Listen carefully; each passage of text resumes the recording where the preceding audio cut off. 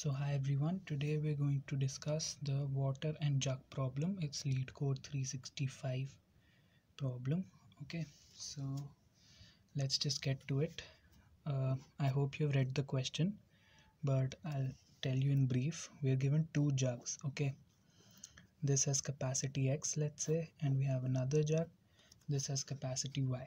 Okay, initially they're both empty and we have an infinite reservoir of water from which we can take water and we can pour water into it okay?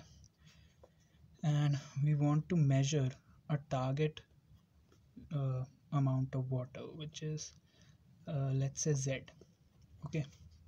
So uh, but the catch is uh, we can only perform one of three operations. First is we can fill this will uh, any of these two jugs completely okay?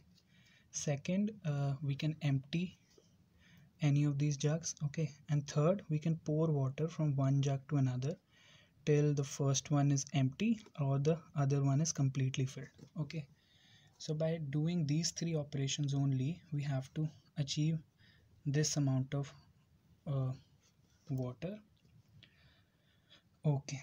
So let's take an example. It will be more clear. Let's say x equal to 3 y equal to 4 and we want to measure z equal to 2 okay so what do we do? Let's write the initial state. This is jug 1 and this is jug 2 initially they're both empty. Okay so what we can do first we can fill x. Okay like fill the first jug so this will look like this okay? First one is full second one is empty. Now we can pour water from this jug to this jug okay? So this will look something like this now. Then we can fill the first jug again. So this is it.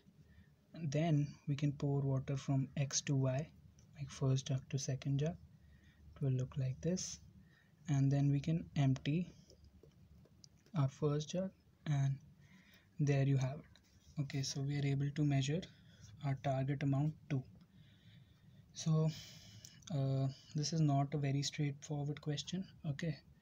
So there are actually uh, two three methods of solving this. We can solve it using BFS okay? Also using DFS and third is uh, using GCD using GCD it's the fastest method but we're not going to discuss it today. We'll discuss the BFS solution and if you understand the BFS solution you can do the DFS solution too. DFS is actually a bit slow. I'll tell you why later. But yeah so how is this problem? How can this problem solve or be solved by BFS let's see. Okay so this is actually a quite complex scenario right? Two uh, jugs and a target amount. So what I'm going to do is I'm going to transform the problem okay? And uh, we'll transform the problem into an equivalent problem okay which will be easier to solve. How? Let's see let's say we have x equal to 3 and y equal to 4 okay. So effectively what we have is one jug. Okay hear me out. Essentially we have well, effectively we have one jug okay of capacity 7 okay. That's all max capacity of 7 okay. And let's look at these operations closely. So here let's look at the total capacity. Here it's 0 okay. Here it's 3 so basically plus x. Here it's 3 again so nothing. Like 0 here it's 6 so basically plus x again. Here it's 6 nothing. Here it's 2 so basically minus y. So effectively you can check whatever operations we can do uh, among the allowed operations. We are effectively reducing the total uh, amount of water by uh, we are increasing the total amount of water by x or by y or we are reducing by x or reducing by y. Or we are not doing anything we are just shifting okay? So essentially what we have is this problem is now this problem we had two jugs now we have one jug of max capacity 7 okay? And we can perform these two operation these four operations on the water of this jug okay? And we want to reach z. This is effectively what the problem has reduced okay? Okay so now we've transformed the original problem to this okay? So now we can solve this let me uh, dry run okay? Uh, let me make a graph okay along the way. So initially we're at zero state. What does that mean? Initially our jug is empty so it is zero state which is shown by this node okay?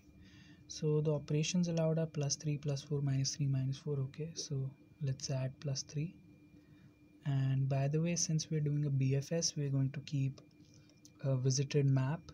So 0 is visited and 3 is visited. Okay.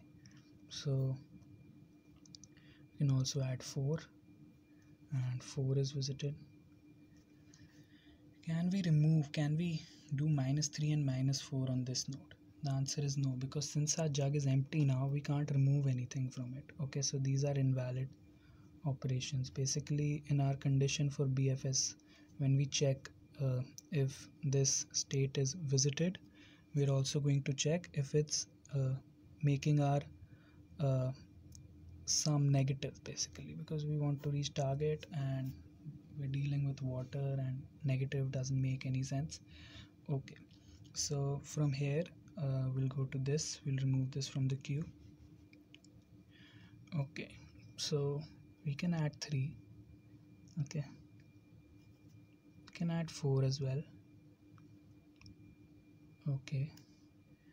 Can we remove 3 you might say yes but I'd say no because when we remove 3 from this we're going to re reach the 0 state which is already visited. Okay. By the way 6 is also visited 7 is also visited so the state is already visit visited. We're not going to uh, enter it. And 4 we can anyway not remove because the jug has only 3 liters of water so from 4 let's see can we add 3 liters and get to 7 no because 7 is visited can we add 4 liters and get to 8? No, because max capacity is 7 and you can't put 8 liters of water in capacity 7 jug. Okay, so can we remove 3 liters? Yes. Can we remove 4 liters and make it 0? No, because 0 0 state is already visited. By the way, 1 is also visited now. Instead of keeping a visited array we are actually going to keep a visited map because uh, the constraint might constraints might be large and we might not be using all the values okay? This is not a graph where we have every value from 0 to n okay? So from here from 6 we can't add anything because it will go out of bounds can we remove uh, 3 liters? No we can't because 3 is already visited and it will take us to 3 we can remove 4 liters though and it will take us to this state. And this is actually uh, our target state okay? So we reached the target state uh, so we have basically found the answer as yes we needed to find whether it was possible and it is the answer is yes for this okay? We are we can measure 2 liters from this capacity 7 jug with these operations. We have remember we have transformed the problem so don't think about that. This is the problem now and we have solved it. And as soon as we reach 2 we can return this. Return yes. Return true basically a boolean variable okay. And in case we keep reaching visited states and queue becomes empty then we'll say that uh, okay uh, we couldn't find the target state so the answer would be false. So the time complexity for this would be order of v plus e and the vertices at max can be x plus y because we have this capacity and we're not going beyond it and we're not going below zero and in the worst case we'll uh, go through all of them. And the edges okay the edges of this graph actually it will be uh, quite less than that because once we if uh, the target capacity can be found we'll we break early. But uh, the edges in the worst case can uh, in a complete graph as we know can be n into n minus 1 by 2 if I'm not wrong where n is the number of vertices okay? So basically the time complexity would be the time complexity of a BFS uh, of a graph with uh, x plus y nodes. That is the time complexity. And DFS actually uh, would be the same but uh, it would be much slower why? Because the edges uh, this is not a static graph right we can keep exploring and we can keep reaching uh, edges. So in case uh, the capacity is quite large okay thousand or 10,000 or something like that uh, what DFS will do it will keep exploring one path only okay? And let's say uh, the target capacity isn't found on that path so then it will backtrack and then it will come back again and again okay? So that will be very time consuming whereas uh, our BFS would just go here and it will grow radius wise like it does okay? So it will be uh, more efficient. Okay so let's quickly write pseudo code for this okay? Be a boolean function. Let's call it bfs okay? And we'll get input the capacity of jug 1 the capacity of jug 2 and the target capacity okay so right off the bat if x plus y is less than z we can directly return false right? Because these uh, we'll never be able to reach the target because the sum of both the jugs capacity is less than them right? So let's keep all the operations that we can perform in an array. Okay we discussed these that these are the possible operations right keep a visited map as well right?